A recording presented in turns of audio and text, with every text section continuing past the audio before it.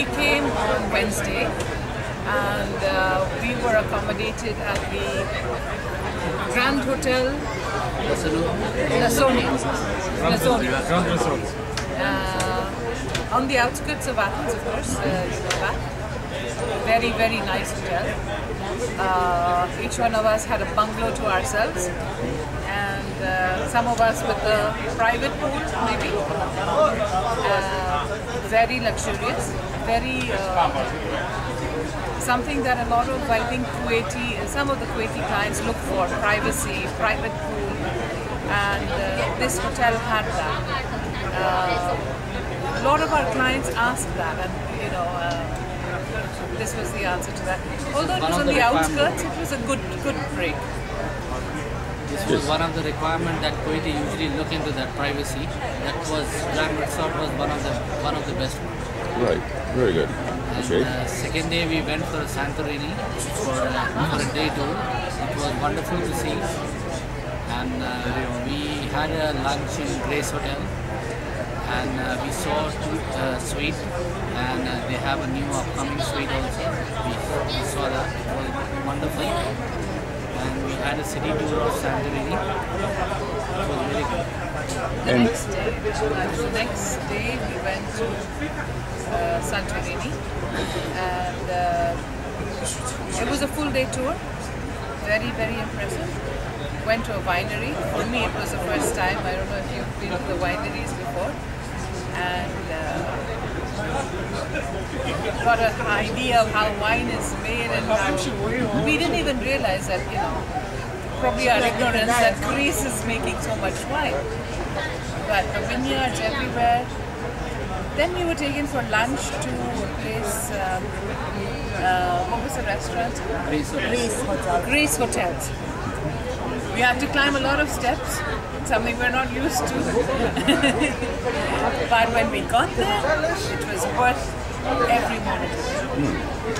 Food exotic, very much like uh, very Mediterranean food, or very much like the uh, local food that we're used to. You want to say something? The fabulous olives everywhere, excellent. Go. Olive oil, Olive, yeah, the olive, oil. olive, different kind of You know, olive, um, excellent. you know, um, the point is, we have experience about the olive. You know, we know that Greece is, uh, is, you know, it's very good their olive, but also there is Arab countries which they develop develop olive, which is tastes delicious. But the one I tried here, it's beyond our expectation. You know, Okay. it was uh, lovely. And you know, um, the thing which I like about this country, the hospitality, the mentality of the people, the culture, the culture, it's similar to our culture. Okay, so it's a combination between Europe and Arab. This is what people, Arab people will like. You know, mostly our clients, they I never had uh, people asking for coming to Greece, Kuwaitis. You know, they only, only, always they like to go to France, Germany. You know, but I'd like to say one thing here that earlier we had a lot of traffic from Kuwait to Greece. That was because Olympic Airways used to fly to Kuwait. And then they stopped for whatever reason. And the route to Athens from Kuwait became very long via Doha, via Dubai.